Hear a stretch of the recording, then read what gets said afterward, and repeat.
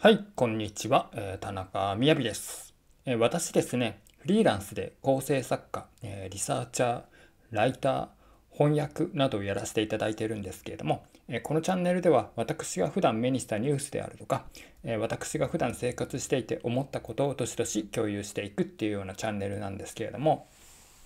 え今回のトピックは、え僕がこれにはお金をかけているっていうものを、えー、紹介していこうと思っています。えっと、まあ、過去動画をご覧になった方、えー、わかるかと思うんですけれども、あと僕のノートとかを、えー、ご覧、お読みいただいている方、えー、僕あんまり、えー、まあ、ミニマリストっていうわけじゃないんですけれども、あんまりその物欲がなくって、あのあんまり物事に対してお金をかけてないんですね。今着ているこの T シャツも、えユニクロで買ったオーバーサイズ T シャツで1900円ぐらい。しかもこれ1年以上前に買ったやつですね。あと今、住んでる部屋も、まあ、東京都内なんですけれども、えー、教育費込みで、ネット代も込みで、家賃9万円いってないところに住んでたりするんで、まあ、都内で言えば結構安い方だと、え思っていて。で、まあ、着る服とかもほとんどお金をかけていないし、あの、まあ、何かその、まあ、お金を使うような趣味とかもないので、本、あの、本読んだり、映画見たりするのは好きなんですけど、まあ、それもまあ、本も、あの、ブックオフで買ったりとか、えー、してますし、あと、まあ、映画とかも、まあ、基本的に DVD 借りたりとか、近所の図書館で無料になってる、えー、無料で、えー、借りたりとか、まあ、映画館に行く時間ちょっとそもそもそんなに取れないので、まあ、そういう形にならざるを得ないっていうのはあるんですけれどもまあ、えー、興味があったら映画館にも行きたいなって時間があったら思ってるんですけれどもね。今ジョーカーの最新作とかやってるんで。えっ、ー、とまあこれを話した時には言ってるかもしれないんですけどえっ、ー、とまあただねあのまああんまりお金は使ってないんですよ。でただ私も結構、えー、全部にお金をかけてないかっていうとそういうわけではなくてかけてる部分も正直あるんですね。なんで今回それを紹介しようと思ってるんですけどどこにまずあのお金をかけているかっていうと、まあ、ざっくり言うと外見というか正確に言うと肌とか、えー、そうですねあと顔の部分には結構お金を使ってるかなと思います。あのそんな整形とかしてるわけじゃないですよ。あのそんな整形してたらこんな仕上がりになってないはずなんであのただその年齢僕今40歳なんですけれどもこんぐらいの年齢になってくると、まあ、徐々にそのあの外見はもうあの皆さん、えー、40ぐらいになってくるとそんなに、えー、もともとあんまりよろし,、えー、くないと言われていた人も、えー、かっこいいと言われていた人もそんなに差がなくなってくるんですよこの年齢になってくると正直。えー、むしろ外見以外で、まあ、えー、微臭、外見以外で判断されることの方が多いんで、まあ、そこまでそんなにこの顔の造形そのものに、えー、対してコンプレックスがあるというよりかなないわけじゃないんですけど、それよりも、この年齢になってくると肌と、肌とか歯とか、そういった、あのー、細かい部分、若い頃はそんな気にしなくてもよかった部分が結構その、えー、もし外見に微臭をつけるとするならば、そこの判定基準になってきたりするんですね。なんでそこには結構投資はしてます。えー、まず最初にやったことっていうのが、あの、30歳、31歳ぐらいの時かな。えー、あの、僕あの、めちゃめちゃもともと歯並びが悪かったんですよ。あの、歯が出てて、今もちょっと出てるんですけど、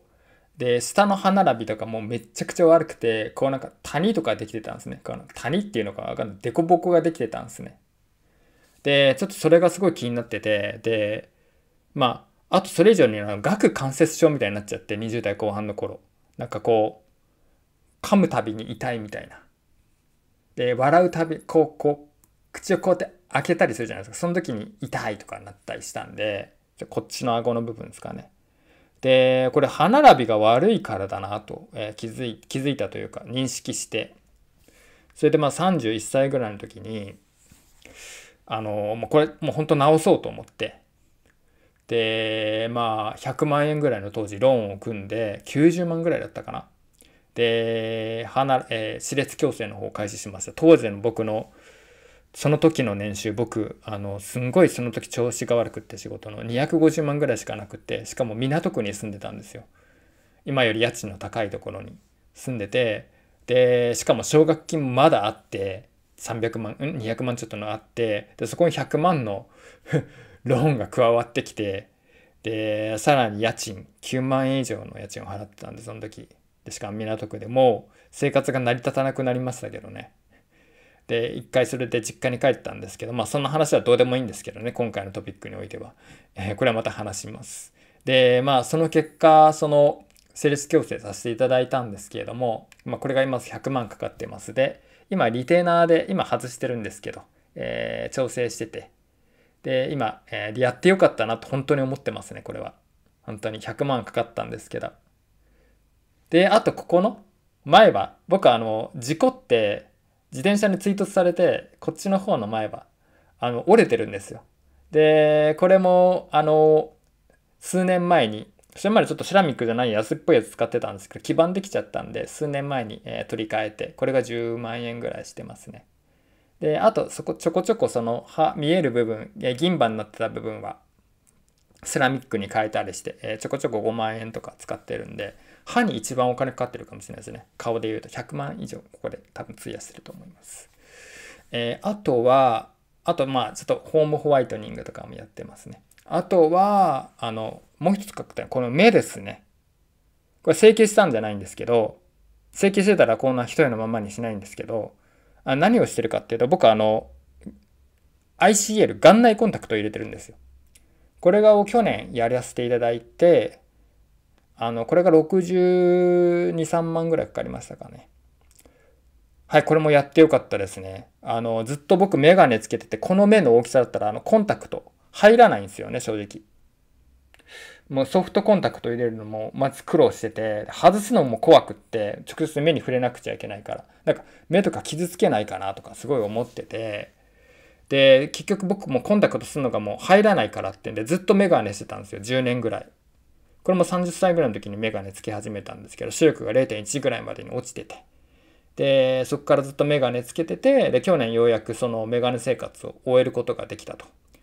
えー、いうことで、その ICL もやってよかったですね。あのレーシックと違って戻らないんで視力が。で、あの、角膜削らないから ICL の方がずっと健康にはいいんです。目の健康には。なんでまあ、あの、まあ、ICL したことによって、あの、もっと目に対する意識が強くなったというか、定期的に検診受けに行く、えー、っていう判断もできるようになったんで、まあ、もし今後、えー、白内障とか、ちょっと ICL って白内障が進行するリスクがあるんですけど、まあ、そうなった時も、あの、まあ、えー、定期的に見せに行くことによって早期発見とかにも、えー、役立つんじゃないかなと思いますが、も目のいい人とか、あまりそのコンタクトが気にならない人は別に ICL はやんなくてもいいと思います。ちょっとリスクがないわけじゃないんで。あともう一つですね、顔でやってることっていうのが、えー、髭脱毛ですね。今日も実はあの湘南美容外科さんの方に行ってきてヒゲ脱毛してきたんですけど今日これあの撮影してるのが10月14日なんですけどねえ今日も行ってきたんですけどここ僕もヒゲ脱毛これ何回行ったのかな？もう30回近く行ってるんじゃないですかねで多分これ湘南美容外科さんクーポンとか配ってるんであのそんなに1回やるときは初回の6回はあのー、鼻下、えー、顎下、顎、えー、もみあ横もみあげなんか5箇所ぐらいあるんですけども、えー、それでまあ、トータルで10万ぐらい最初に払って、でその次もターンも10万、5、10, 万ぐらいあって合計？そんなにいってないと思います。覚え、覚えなんで、多分17、8万ぐらい払ってるのかな。えー、15、6万ですかね。多分わかんないですけど。で、その後はもう僕、あの、もともとひげがそんなに濃くなかったから、あの、今やってるのは3箇所、えー、鼻下、顎下、顎で、でもで、これをまあ3回、えー、6回コースを今3回ぐらい消化し、3回ぐらいやってて、今3回目ぐらいの6回目のコースになってて、今日本語がちょっとおかしいですけど、あの6回コースとかで契約できるんですね、ヒゲ脱毛って。で、6回コースで、えここの部分、この部分、この部分でいくらとかで契約できるんですけど、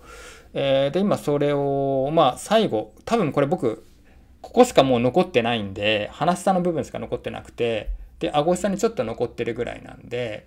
えー、顎にちょっと残ってるぐらいなんで、あとこれが終わ、この6回が終わればもう終わるなりかなと思ってて、これでまあ16、多分合計でいくと20万いってるかいかないかぐらいですかね。なんでトータルで言うと顔には、えー、120、え100万、えー、20万、120で、まあ合計200万近く使ってるのかもしれないですけど、この顔で本当に申し訳ないんですけど、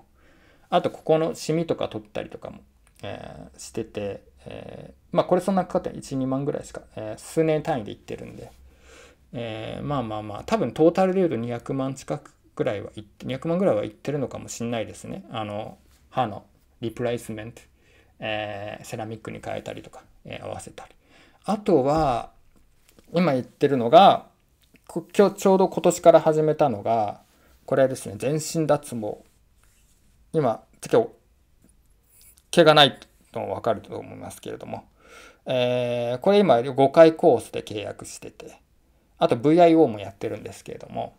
これが今合計34万ぐらい払ったのかな。えー、なんで、まあ、えー、全身脱毛は、そんなにこれ僕ももともと体毛濃くないんですけれども、まあ5回コースの3回目が終わったぐらいなんで、で、まあ、あと5回ぐらい、まあ、えー、5回コースが終わって、さらに5回ぐらい全身脱毛行かなきゃいけなくて、VIO は持っていく必要があると思うんですけれども、まあ、あとトータルで全身脱毛だけで30万ぐらい、えー、そこからプラスでかかるかなと思ってるんですけども、こんな形で今、全身、体には、保険250ぐらいは えー、実は使ってるんですね。なんで結構、お金かけてる部分はかけてるんです。あと、このラップトップ、えー、今これクイックタイムプレイで撮影してるんですけど、この Mac 最近買ったので、えー、これ15、19、15万、16万ぐらいしましたね。あの、